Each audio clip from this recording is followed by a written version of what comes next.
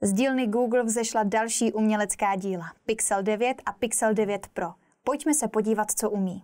Profy vypadají už na pohled. Elegantní křivky, matný design i leštěný rámeček. Google Pixel jsou hlavně ale známé svými skvělými fotoaparáty. Svůj kompakt klidně můžeš nechat doma. Pixel 9 Pro i 9 jsou s 50 megapixelovým hlavním fotoaparátem, prakticky zrcadlovka do kapsy. Umí mimořádně detailní fotky, ostrá selfie i bohaté barvy.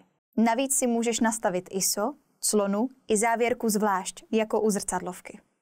A poprvé si i u 9 Pro můžeš přiblížit až 20násobně i videa, která zůstanou stále plynulá a kvalitní. Uvnitř má díky nástrojům umělé inteligence Google i malé postprodukční studio.